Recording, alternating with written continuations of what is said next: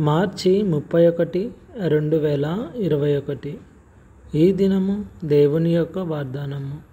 ఆయన నీ ఆహారమును నీ పానమును దీవించును. నేను నీ మధ్య నుండి రోగము తొలగించదను. నిర్గమాకాండము ఇరవై మూడవ అధ్యాయము ఇరవై ఐదవ వచనము రండి అందరము ప్రార్థించదము. జగద్రక్షకుడైన యేసువా మీ బంగారు పాదాలకు స్తోత్రాలయ్యా.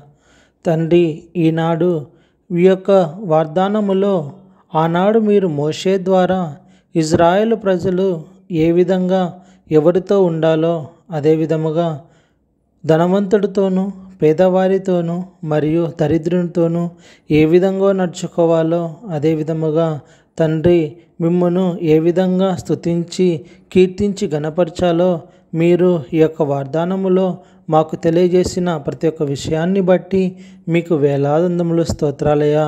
అయ్యా అలాగే మేమును మిమ్మల్ని తెలుసుకొని ప్రేమించి సేవించి మీ యొక్క ఆజ్ఞలను పాటించుతూ ఈ యొక్క వాక్యము ద్వారా మమ్మల్ని మేము సరిచేసుకొని నడుచుకున్నటకు మీ యొక్క సహాయాన్ని తోడును అందిస్తామని నమ్ముచు మా రక్షకుడైన యేసుక్రీస్తు అతి పరిశుద్ధ నామమును అడిగి వేడుచున్నాము తండ్రి. అమేన్